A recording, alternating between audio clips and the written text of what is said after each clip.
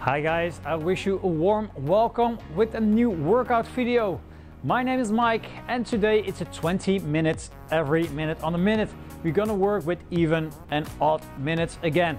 Um, in the odd minutes, we're gonna do 30 jumping jacks or side taps or star jumps. I'm gonna show you. And um, all even minutes, we're gonna do 15 back extensions for quality. First minutes and all odd minutes are jumping jacks. If you don't want to jump, do the side taps. And if you may want to make it a little bit harder, do the star jump 30 times. In all even minutes, we're gonna do 15 back extensions for quality.